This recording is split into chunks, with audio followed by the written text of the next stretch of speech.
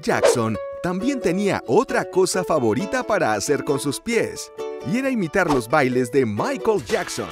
razón por la que sus padres decidieron bautizarlo con el apellido del rey del pop.